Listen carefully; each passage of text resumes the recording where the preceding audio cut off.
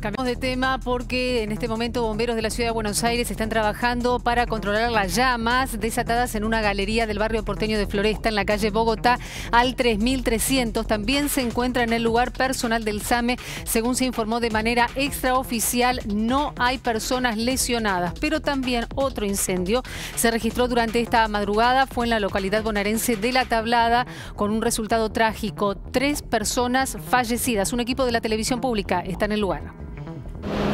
Gibraltar al 2700 en el barrio de La Tablada, cerca de las dos y media de la mañana, aquí en esta gomería que está detrás mío, una familia que vivía en el interior de esta vivienda y también trabajaba en este lugar. Fue sorprendida cerca de las 2.30 de la mañana por un fatal incendio que todavía están investigando las causas, pero creen que podría haber sido intencional. En este lugar vivía un matrimonio que trabajaba en este lugar, como decíamos, porque era una gomería familiar con cuatro hijos. Uno en este momento la policía lo da por fallecido junto a el matrimonio y tres adolescentes pudieron ser rescatados en el momento en donde las llamas se apoderaban de todo este lugar. Podemos ver cómo quedó la construcción arriba.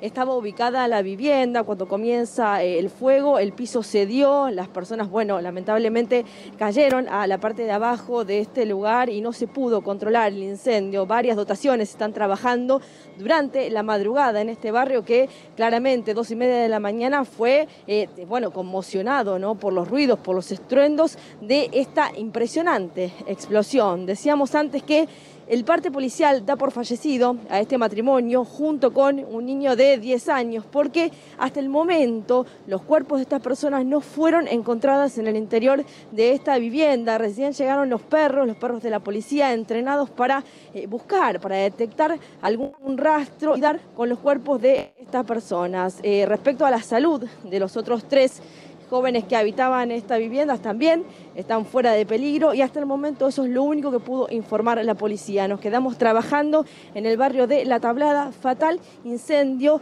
tres muertos según el parte policial.